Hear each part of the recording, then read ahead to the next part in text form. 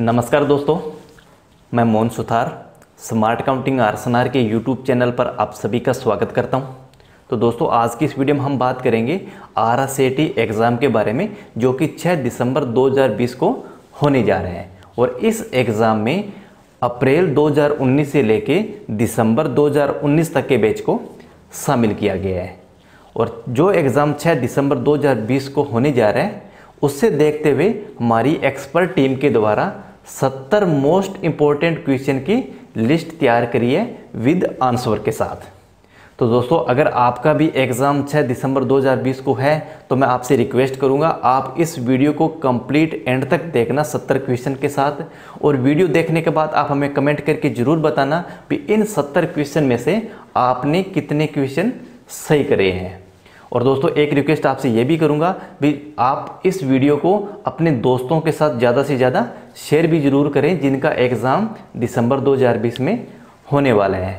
और वीडियो शुरू करने से पहले आपसे एक छोटी सी रिक्वेस्ट है, अभी तक आपने इस चैनल को सब्सक्राइब नहीं किया है तो ज़रूर कर लें और साथ में बेल आइकन का बटन प्रेस करके ऑल नोटिफिकेशन पर भी ज़रूर क्लिक कर लें। तो दोस्तों दिसंबर एग्ज़ाम तक हम इसी टाइप के वीडियो इस चैनल पर अपलोड करते रहेंगे तो जिसका नोटिफिकेशन आपको समय समय पर मिलता रहेगा।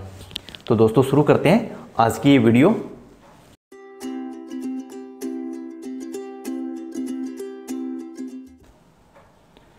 तो दोस्तों आर एग्ज़ाम दिसंबर 2020 पार्ट फ़र्स्ट यानी कि ये हमारा फ़र्स्ट वीडियो है, जो कि जिसका एग्ज़ाम 6 दिसंबर 2020 को होने जा रहा है।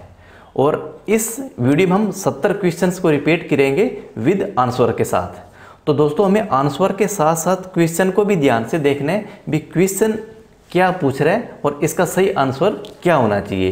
क्योंकि दोस्तों कंप्यूटर सिस्टम में होता है क्या है भी जो नेम्स होते हैं कंप्यूटर के पार्ट्स के नेम वो लगभग मिलते जुलते होते हैं तो इसलिए हर स्टूडेंट जल्दबाजी में इसका गलत आंसर कर देता है, वो जबकि क्वेश्चन को ध्यान से पढ़ता ही नहीं है।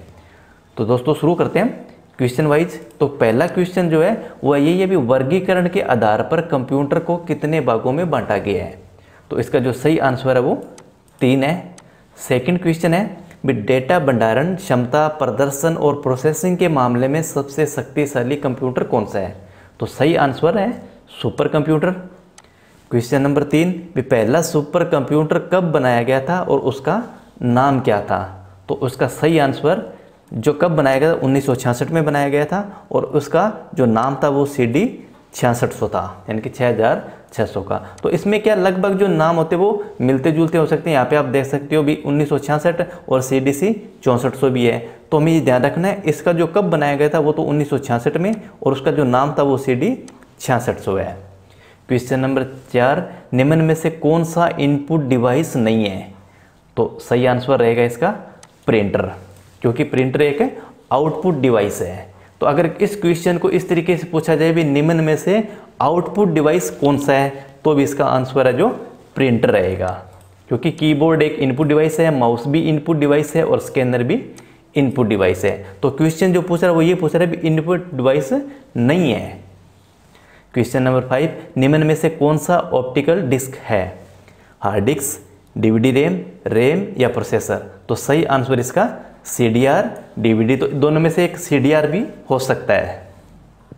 क्वेश्चन नंबर छः निम्न में से कौन सा एप्लीकेशन सॉफ्टवेयर नहीं है?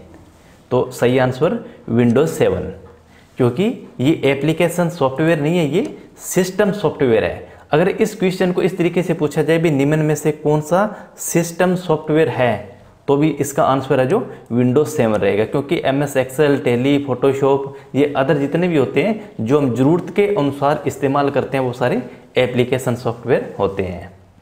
तो कंप्यूटर का जनक किसे कहते हैं? चार्लस बेबेज क्वेश्चन नंबर आठ रा फैक्ट जैसे लेटर वर्ड दवनी को कहा जाता है, डाटा। कौन सी मेमोरी प्राकृतिक रूप से अस्थिर होती है? रैम। तो दोस्तों, अगर आपको ये पीडीएफ फ़ाइल भी चाहिए सत्तर क्वेश्चंस के साथ तो आपको मैं इस वीडियो को एंड में बताऊँगा भी आपको ये जो पीडीएफ फ़ाइल है वो किस तरीके से मिल सकती है या आप इसे किस तरीके से डाउनलोड कर सकते हैं। क्वेश्चन नंबर दस डीपीआई की फुल फॉर्म क्या है? तो डॉट पर इंच। तो इसको इस तरीके से भी पूछा जा सकता है भी डीपीआई का पूरा नाम क्या है? तो भी ये डॉट पर इंच रहेगा। क्वेश्चन नंबर ग्यारह प्रोसेसर एक इलेक्ट्रॉनिक डिवाइस है, वो कौन सी धातु से बना होता है? सिलिकॉन के धातु से। डीवीडी का पूरा नाम क्या है? तो सही नाम है, इसका सही answer digital versatile disc question number बारह वाईफाई का पूरा नाम क्या है? तो सही आंसर है वायरलेस फिडिलिटी क्वेश्चन नंबर तेरह, निम्न में से कौन सी टोगल कीज है? निम्न में से कौन सी टोगल कीज है? तो सही आंसर कैप्सलो कीज तो दोस्तों टोगल कीज है वो तीन प्रकार की होती है। Caps lock keys num lock keys और सक्रोल लो कीज अगर कैप्स लॉक की जगह नम लॉक की पूछा जाए तो नम लॉक भी टोगल कीज है। अगर सक्रोल लॉक की जा जाए तो भी टोगल कीज है। क्वेश्चन नंबर चौदह, प्रधानमंत्री जन धन योजना भारत सरकार द्वारा कब शुरू की गई थी? तो अगस्त 2014 में। क्वेश्चन नंबर पंद्रह पीओएस का पूरा नाम क्या है? तो सही answer point of sale question number सोलह सोशल नेटवर्किंग साइट है। तो फेसबुक भी सोशल नेटवर्किंग साइट है ट्विटर भी है इंस्टाग्राम भी है तो सही आंसर हो जाएगा उपरोक्त सभी। ओएमआर का पूरा नाम क्या है? ऑप्टिकल मार्क रीडर ओ का फुल फॉर्म। क्वेश्चन नंबर अठारह, राज ई वर्ल्ड को कहा जाता है? डिजिटल दस्तावेज़ प्रबंधन। क्वेश्चन नंबर उन्नीस एम एस वर्ड में कौन सी कुंजी से कर्सर के बाएँ और अक्सर मिटाए जा सकते हैं? तो सही आंसर रहेगा बैक स्पेस तो दोस्तों, इसका मतलब क्या होता है? भी बाएँ ओर का मतलब क्या होता है? अब जैसा आप देख सकते हो, भी हमारा कर्सर है जो बाएँ और ओर के बीच में चल रहा है। अगर हमें इस बाएँ शब्द को अगर हटाना हो तो हम जो बैक स्पेस की जो होती है इंटर के ऊपर, वो हम प्रेस करेंगे तो ये बाएँ के कर्सर से कुंजी ये है जो हटते जाएँगे। और इसी का अपोजिट जो क्वेश्चन है, अभी एम एस वर्ड में कौन सी कुंजी से कर्सर से दाएँ ओर की अक्षर को मिटाए जा सकते हैं? तो दोस्तों, आप देख सकते हो क्वेश्चन बिल्कुल मिलते जुलते से जो फ़र्क आ रहा है, वो केवल बाएँ और दाएँ का है। भी जो क्वेश्चन 19 नंबर था एम एस वर्ड में कौन सी कुंजी से कर्सर के बाएँ ओर के अक्षर को मिटाया जा सकता है? तो बाएँ ओर से अगर मिटाना हो तो बैक स्पेस कुंजी से, और एम एस वर्ड में कौन सी कुंजी से कर्सर के दाएँ ओर के अक्षर को मिटाए जा सकते हैं? तो वो होता है डिलीट कीज कुंजी से। क्वेश्चन नंबर 21 एच का पूरा नाम क्या है? तो सही answer high definition multimedia interface question number 22 निम्न में से कौन सा सर्च इंजन है? तो गूगल क्रोम तो आप यहाँ पे देख लो यहाँ पे गूगल डॉट कॉम भी लिखा हुआ है। तो गूगल डॉट कॉम एक साइट है आईआरटीसी वो भी एक साइट है डब्ल्यू डब्ल्यू डॉट आर के सी एल डॉट कॉम ये भी एक वेबसाइट है। तो गूगल क्रोम होता है वो सर्च इंजन है। इंटरनेट एक्सप्लोर क्या है? तो वेब ब्राउज़र है, क्योंकि जैसे कि गूगल क्रोम होता है इसी तरीके से इंटरनेट एक्सप्लोर भी होता है मोजिला फायरफॉक्स भी हो सकता है, इसकी जगह ये भी आ सकता है भी मोजिला फॉर फायरफॉक्स क्या है तो वो भी एक तरीके का वेब ब्राउज़र है। गूगल क्रोम क्या है, ये पूछा जा सकता है तो उसका भी वेब ब्राउज़र ही रहेगा। क्वेश्चन नंबर चौबीस विपोर्टेंट और लैंडस्केप क्या है? तो इसे हम बोलेंगे स्लाइड ओरिएंटेशन तो इसका मतलब क्या होता है पोर्टेंट और लैंडस्केप का मतलब भी जब हम कोई भी पेज हम प्रिंट आउट निकालते हैं तो प्रिंट आउट के दो फॉर्मेट होते हैं। जैसा कि हम देख सकते हैं, एक तो होता है इस तरीके से बिल्कुल और एक इस तरीके से लॉन्ग में होता है। एक में तो अक्सर इस टाइप से लिखे होते हैं। तो ये तो रहेगा पोर्टेंट में। और एक इसी तरीके को अगर आपकी लाइन लंबी है तो हम इस तरीके से पढ़ते हैं इन्हीं अक्षरों को पेज को घुमा के जिसका हम बोल सकते हैं। तो ये जो ऑप्शन होता है इस तरीके से पढ़ने वाला उससे हम बोलते हैं लैंडस्केप और ये जो इस टाइप का जो ऑप्शन होता है, इससे हम बोलते हैं पोर्टेंट तो क्वेश्चन नंबर 25 निम्न में से कौन सा सॉफ्टवेयर आपके कंप्यूटर की जासूसी करता है? तो सही आंसर है इसका स्पाईवेयर क्वेश्चन नंबर 26 निम्न में से कौन सा माइक्रो ब्लॉगिंग का उदाहरण है? तो ट्विटर माइक्रो ब्लॉगिंग मतलब छोटे ब्लॉग लिखने के लिए ट्विटर का यूज़ किया जाता है. क्वेश्चन नंबर 27 निम्न में से कौन सा ई गवर्नेंस एप्लीकेशन का प्रकार नहीं है?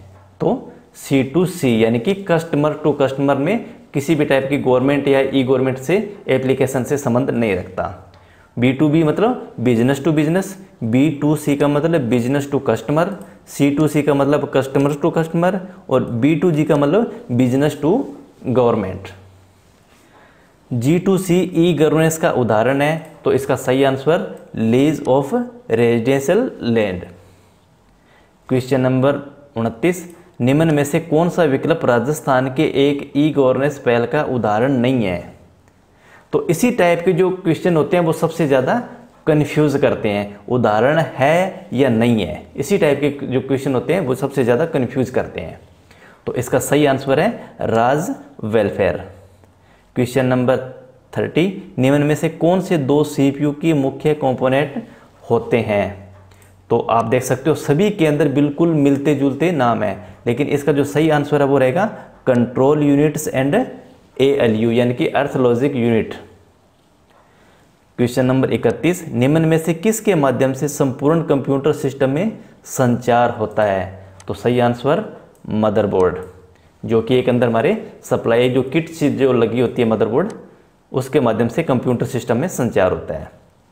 एक बाइट आठ बिट के बराबर होता है, जबकि एक निबल के बराबर होता है, यानी कि कितने बिट के बराबर होता है एक निबल जो कि चार बिट के होता है। जो अगर हम इसकी बात करें साइज़ की तो सबसे जो छोटी इकाई होती है वो निबली है। क्वेश्चन नंबर तैंतीस कंप्यूटर में वर्णमाला संख्यात्मक विराम चिन्ह को इलेक्ट्रॉनिक डाटा में प्रदर्शित करने के लिए सबसे अधिक किस कोड का उपयोग किया जाता है? तो जो सही आंसर है वो S L question number thirty four, data को स्टोर करने के लिए मुख्यतः कौन से फॉर्मेट का उपयोग किया जाता है? तो वो होता है बाइनरी कोड का।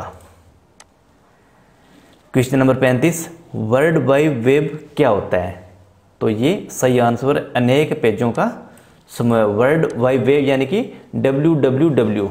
आपने देखा कभी बार हम वेबसाइट जो लगाते हैं तो उसके पहले डब्ल्यू डब्ल्यू डब्ल्यू जो लिखा होता है तो ये डब्ल्यू डब्ल्यू डॉट की फुल फॉर्म यही होती है world wide web.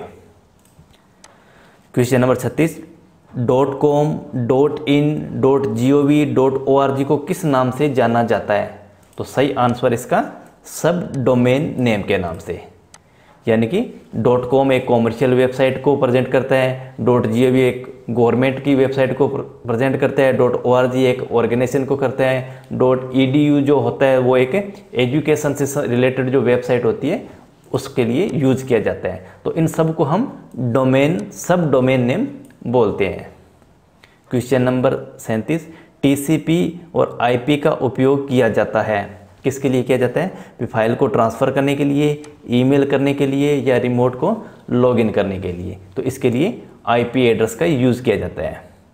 Question number thirty eight, किस सर्च इंजन का विकास माइक्रोसॉफ्ट ने किया है?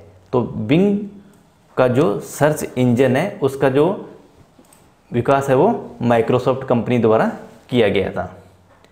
39 किस प्रोटोकॉल का उपयोग करके ईमेल भेजने और प्राप्त करने के लिए किया जाता है? तो सही answer P O P three या S M T P question number forty email के साथ बाहरी फाइलें वीडियो फ़ोटो इमेज भेजने के लिए कौन से ऑप्शन का उपयोग करते हैं? तो सही आंसर अटैचमेंट का। क्वेश्चन नंबर 41 निम्न में से कौन सा operating system graphical user interface का एक उदाहरण नहीं है? तो सही आंसर इसका विंडो 8.1 क्वेश्चन नंबर 42 निम्न में से कौन सा ऑपरेटिंग सिस्टम नहीं है? तो सही आंसर ऑर्केल ये एक एप्लीकेशन सॉफ्टवेयर है। क्वेश्चन नंबर 43 इनमें से कौन सा एक ईमेल क्लाइंट है? तो जीमेल एक ईमेल के क्लाइंट के रूप में होता है। मोडेम नहीं होता, राउटर भी नहीं होता और डोमेन भी नहीं होता। यूआरएल की फुल फॉर्म क्या है? तो इस तरीके से पूछा, अभी यू का पूरा नाम क्या है? तो सही answer, uniform resource locator. Question number 45 एक पेंटाबाइट, यानी कि पीबी में कितने बाइट होते हैं? तो सही आंसर, एक हज़ार चौबीस टीबी, यानी कि टीबी की फुल फॉर्म टेराबाइट। MB की फुल फॉर्म मेगाबाइट जी की फुल फॉर्म गीगाबाइट के की full form kilobyte question number 46 कौन से चार्ट में डेटा पॉइंट्स लाइन में जुड़े होते हैं जिससे यह देखना आसान हो जाता है कि क्या वैल्यू बढ़ रही है या कम हो रही है एम एस एक्सएल में? तो इसका सही ऑप्शन होता है देखने के लिए लाइन चार्ट का उपयोग किया जाता है, जो हम देख सकते हैं, कई बार हम ग्राफ के थ्रू देखते हैं ग्राफ कम हो रहा है या ज़्यादा होता है, इसी तरीके से लाइनों को देखने के लिए। क्वेश्चन नंबर 47 वर्तमान में विंडोज़ 10 में पृष्ठभूमि में चल रहे कार्यक्रम के लिए कौन से बाद के प्रतीक है? तो सही आंसर इसका सिस्टम ट्रे क्वेश्चन नंबर 48 एक डॉक्यूमेंट में एक बुक मार्क लगाने के बाद आप बुक्स मार्क को दूसरी जगह से टेक्स्ट में किस ऑप्शन से क्रिएट कर सकते हैं? तो सही आंसर है इसका? क्रॉस रेफरेंस क्वेश्चन नंबर 49 आप एम एस वर्ड दो हज़ार दस में पोर्टेंट और लैंडस्केप लेआउट के बीच के पृष्ठ का उपयोग करके स्विच कर सकते हैं। तो सही आंसर रहेगा इसका? ओरिएंटेशन शॉर्टकट के लिए। क्वेश्चन नंबर 50 आईपी एड्रेस का वेद उदाहरण है, यानी कि इसका जो सही फॉर्मेट होता है आईपी एड्रेस का, वो क्या होता है? तो जो सही फॉर्मेट होता है वो इस तरीके से होता है। तो इसमें सबसे बड़ा कन्फ्यूज़न ये रहेगा, आप देख सकते हो जो इसका आंसर ए है और जो डी है, वो देखने में बिल्कुल आपको सेम लग रहे होंगे, लेकिन दोनों में जो डिफरेंस है वो यही है। आप देखो, इसमें 192 डॉट लगा है 105 के बाद डॉट लगा है 130 के बाद डॉट लगा है। और यहाँ पर डॉट की बजाय ये माइनस का निशान सा लगा हुआ है।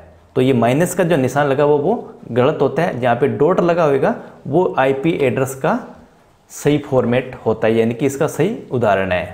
क्वेश्चन नंबर इक्यावन पावर पॉइंट में प्रेजेंटेशन का एक संग्रह होता है, जिसे हम क्या बोलते हैं? Slides question number 52 M S Word दो हज़ार दस में फॉर्मेट पेंटर की शॉर्टकट की क्या है? तो इसमें भी ध्यान रखने वाली बात है, जो फॉर इसकी जो शॉर्टकट की है, वो control plus shift plus C.